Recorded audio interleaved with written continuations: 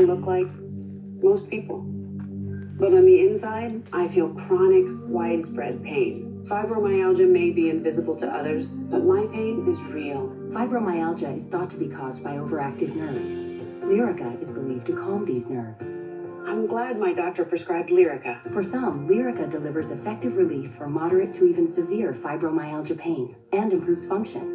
Lyrica may cause serious allergic reactions, suicidal thoughts, or actions. Tell your doctor right away if you have these, new or worse depression, unusual changes in mood or behavior, swelling, trouble breathing, rash, hives, blisters, muscle pain with fever, tired feeling, or blurry vision. Common side effects dizziness, sleepiness, weight gain, swelling of hands, legs, and feet. Don't drink alcohol while taking Lyrica. Don't drive or use machinery until you know how Lyrica affects you.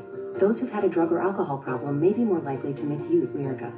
With less pain, I can do more with my family. Talk to your doctor today. See if Lyrica can help. OfferPad is a direct home